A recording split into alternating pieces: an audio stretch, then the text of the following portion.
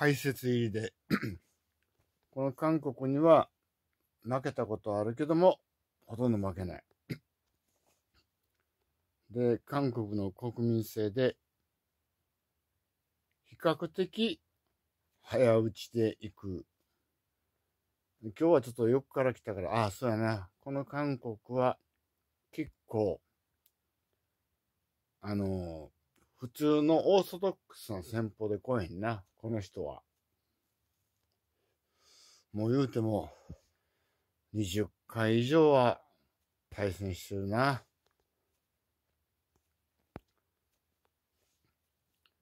で、解説全然してないな。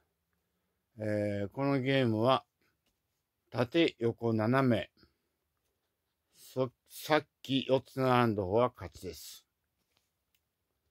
まあ、解説しながらでも 本当はもう黙って、すごく頭使うゲームやから、えー、一手で展開がコロッと変わる。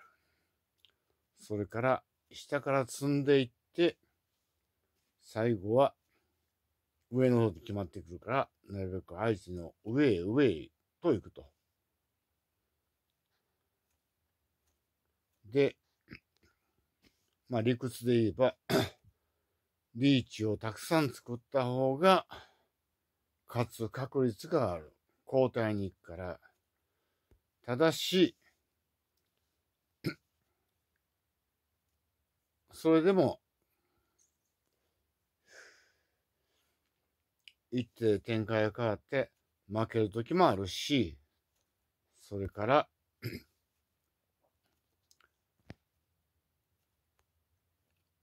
セオリーっていうのもあるから、例えば、今俺、俺が今、4段目でリーチを作ってるけども、4段目でリーチを作ってるけども、もう一つ斜めで、斜め左上か、斜め左下を行ったら、リーチができるけども、当たり前やけども、同じとこでリーチを作っても意味がない。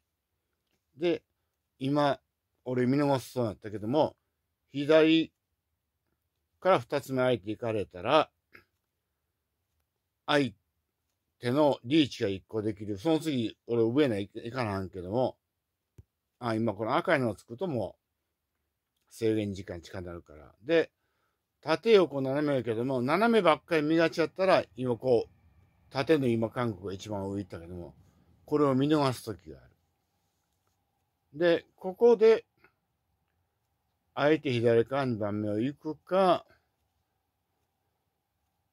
やっぱりこれは、ここでこの3段目ドローラリーチがまだないから、やっぱりここで、ここ行っといて、相手に左側リーチスカー3にすると。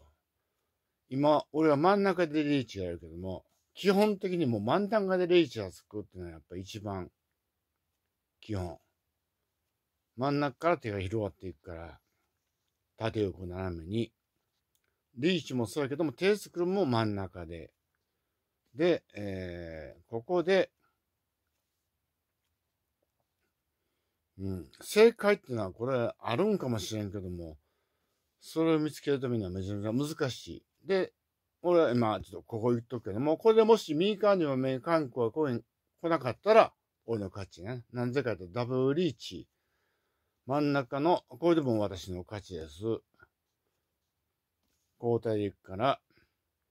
で、ここでもう途中でやめることもできるから、あの、結構やめる人も多いんだけど、この人はね、もう、ちゃんと最後まで対戦してくれるのが嬉しいね。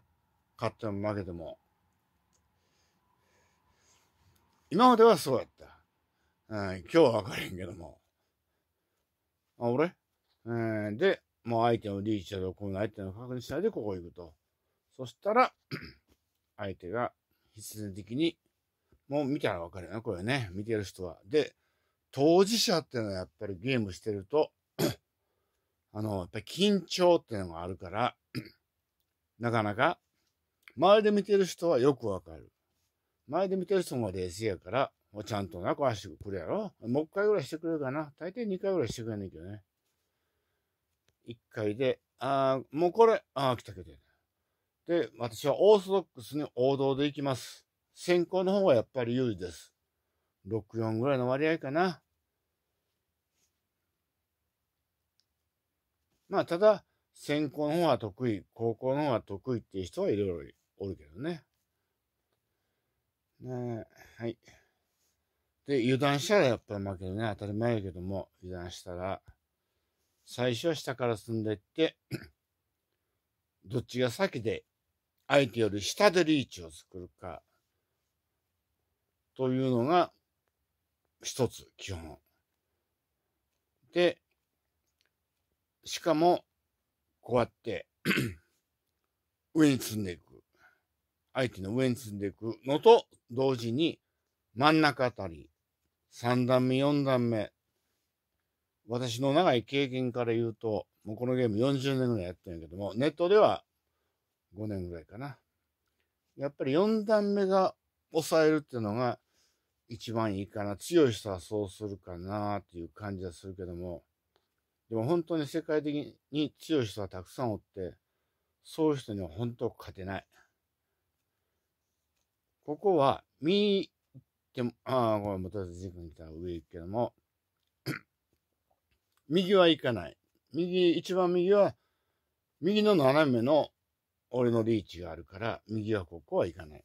ただ今相手がこれで横の左の下関段のリーチができたから、逆に左から3番目は行かない。3番目行かずに、えー、あえて開けとく。斜めの、左斜めのリーチを考えて、もしくは一番下をこう行くっていうのも手やけども、それはやっぱりあんまりええことないから、かといってそんな行くとこは今ないなっていう感じやから下行こうか。相手と反対側で。そしたら必然的に相手は必ず右か左は押さえないともう俺の勝ちになっちゃうから。ポンミスしたらあかんし、先の手も考えなあかんし、自分の手も作らはんけども、相手の手も、で、相手はこう言ったから、これで相手のリーチを抑えることができると。一つ潰す潰すことができると。で、この下二つっていうのが下の意味ないように見えて、斜めで繋がった場合に、繋げれることができた場合に、この一番下の下も生きてくる場合もある。で、今、相手が左斜め、左の左から3列目の、えー、1、2、3、4段目でリーチできるんだから、こっち側はどないかして抑えることも考えつつ、自分は、これちょっと今ええ勝負やね。で、相手が、ここ行っとこう。なぜかと言ったら、相手にこの、えー、相手の右の、えー、左斜めと右斜めのリーチを使えてしまうと、ダブルリーチになってしまうから、ここは押さえとかんと。これは絶対いかなはんし、まあ、相手のダブルリーチは言いました。左側のダブルリーチは、防げたように見えて、相手の左から2番目のところで、左一番上、左から一番左、一番左から2番目行かれると、ダブルリーチの目やから、相手の今今下行ったんは、よっぽどなんか自分の手がない限りは無駄な手やね。とりあえずここ行っといて。ここ行くことによって、相手のリーチ行ってるとこ、右から3番目の下から2番目行けば、だからこういうとこは考えずに行ってるね。ここ行ってしまうと、自分のリーチメモを通してしまうし、これで相手はもう自滅やね、見うたら。これで、左側では、どっちもリーチ、同じとこやから、このままでは、左側はもうこれを言ったら、もう今のポンミスやね。もう、なんでこんなポンミスするんやろな。もう一回してくれんかな。もうこれで出ていっちゃうかもしれんな。もうしばらくお待ちくださいが、うん、はい。では一回終わります。